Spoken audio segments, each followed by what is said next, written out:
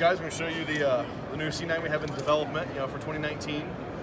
Um, at first glance, you're going to notice that it is a C9, but kind of radically different, I think. From front to back, we're offering a threaded barrel now, half 28 thread pitch. Um, front and rear cocking serrations with a new, new angular slide design rather than the old rounded style. Standard accessory rail for mounting your lights and lasers to it. Back at the top of the wheel on the rear sight, we extended the base of the rear sight, so now we'll have a Picatinny rail you can drop in for mounting you know, red dots to it, which would definitely help if you mount a suppressor to it to cover that suppressor height sight. Um, down from there, we run an ambidextrous magazine release. Um, got rid of the rattle from the sear drop safety into a grip safety now. And then the back strap, we have a rounded, or you can turn out and reverse it to a flat, change your grip angle a little bit.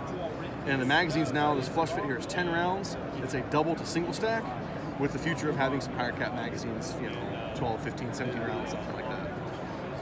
MSRP, we're gonna still shoot for around $200, about like the current C9.